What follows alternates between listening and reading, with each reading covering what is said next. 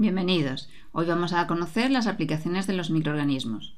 En concreto, vamos a elaborar yogur. Vamos a ello.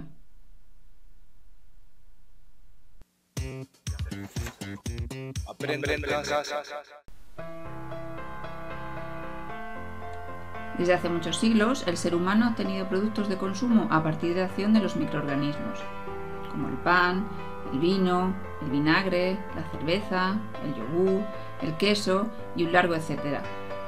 Se estima que la aparición de la cerveza se produjo en el pueblo sumerio y babilónico, y en el antiguo Egipto ya se fermentaba el pan. Hoy en día, gracias al desarrollo tecnológico que poseemos, podemos crear no solo nuevos productos de consumo, sino utilizar los microorganismos para otros fines útiles como obtención de antibióticos, vacunas, hormonas, bioremediación de contaminación y un largo etcétera. De todo ello se encarga la biotecnología, que es la rama de la ciencia que estudia los seres vivos para la creación o modificación de productos o procesos de valor para la especie humana.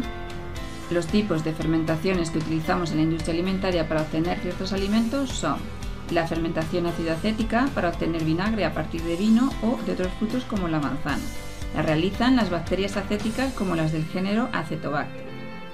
La fermentación alcohólica por levaduras del género Saccharomyces que transforman azúcares de los alimentos en alcohol. Con ello podemos obtener a partir de la uva el vino y a partir de la cebada, maíz o arroz la cerveza. También es una fermentación alcohólica la obtención de pan a partir de la transformación de los azúcares de las harinas por parte de las levaduras del género Saccharomyces cerevisiae. La fermentación láctica, en la que las bacterias acidolácticas convierten la lactosa de la leche en ácido láctico. Con este proceso tenemos queso y sus derivados, también mantequilla, kéfir y el yogur. En este vídeo nos centraremos en la producción del yogur.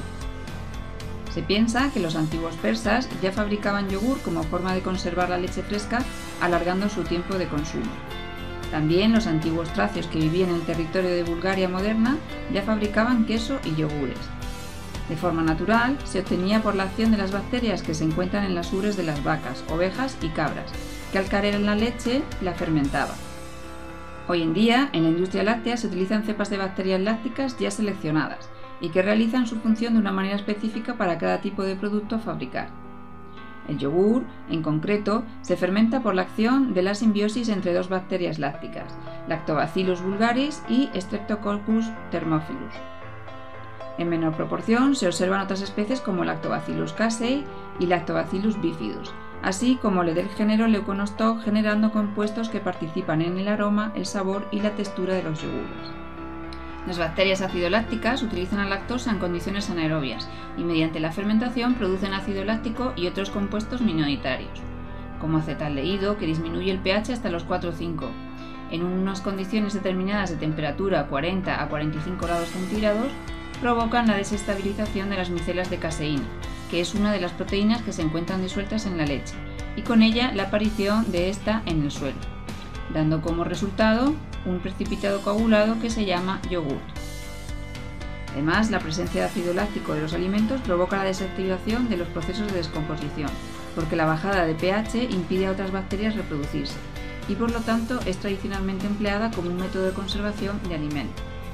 Los compuestos resultantes de esta fermentación son los principales causantes de las cualidades de olor y sabor. El ácido láctico le confiere el típico sabor ácido del yogurt. El acetaldehído, que se produce en menor proporción, le da el aroma característico, mientras que el diacetilo confiere un sabor de mantequilla a la leche fermentada. ¿Qué ocurre en la fermentación? Recordemos que la lactosa de la leche es un disacárido formado por glucosa y galactosa. Las bacterias lácticas utilizan la glucosa en la glucólisis y obtienen dos moléculas de ácido pirúvico, generando NADH. Después, el ácido pirúvico acepta los electrones del NADH reduciéndose a ácido láctico. El rendimiento energético es de dos moléculas de ATP, obtenidas por fosforilación a nivel de sustrato. Además, así se regenera el NAD, necesario para proseguir la glucólisis en las bacterias. Os invito ahora a elaborar yogur de forma casera y poner en práctica lo aprendido. Primero procedemos la leche entera o desnatada, para eliminar otros microorganismos que puedan estropear el producto. Enfriamos un poco la leche.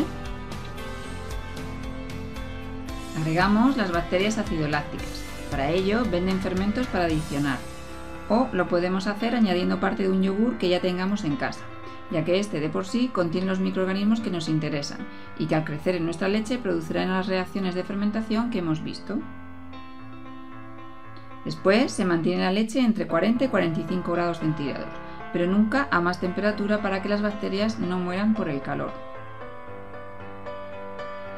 Esto lo conseguimos en una olla que esté en un sitio templado durante varias horas, o en el horno que había estado calentado previamente, se apaga y con el calor residual se deja mediodía. En el mercado podemos encontrar utensilios llamados yogurteras, donde se hace la reacción de fermentación en una temperatura controlada. Y el resultado es un yogur natural listo para consumir, al que podemos añadir azúcares, frutas, cereales o lo que queramos. Las bacterias lácticas han transformado la lactosa a ácido láctico, con lo cual puede ser mejor digerido por personas con intolerancia a la lactosa. Además, las bacterias siguen vivas y al tomar el yogur conseguimos que formen parte de nuestra flora intestinal, beneficiándonos de sus propiedades. Este tipo de fermentación, pero con otras especies de bacterias lácticas, también se puede usar para la conservación de ciertos productos cárnicos, en concreto de algunos embutidos como el salchichón o el salami.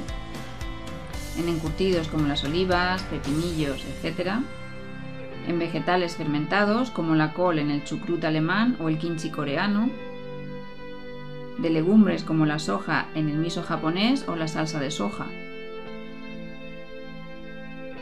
En células musculares, durante ejercicios intensos en los que no hay suficiente oxígeno para oxidar la glucosa por vía aerobia, el ácido pirúvico se reduce a ácido láctico, dando lugar a las famosas agujetas. Después, el ácido láctico se transforma nuevamente en glucosa, en el proceso que llamamos gluconeogénesis. Y con esto finalizamos. Te espero en el siguiente vídeo que tratará sobre la elaboración del pan y la fermentación alcohólica. No te lo pierdas. Recordarte que puedes encontrar más vídeos explicativos y otros recursos en nuestra web de Aprende en Casa de la región de Murcia y en nuestro canal de YouTube. ¡Hasta luego!